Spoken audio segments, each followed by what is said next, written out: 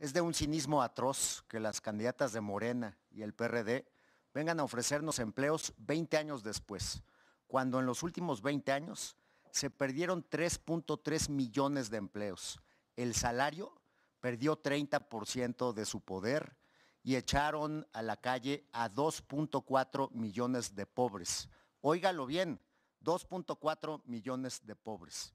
Mandaron a nuestra querida Ciudad de México al penúltimo lugar en competitividad. Somos la primer ciudad en percepción de corrupción, que es su sello.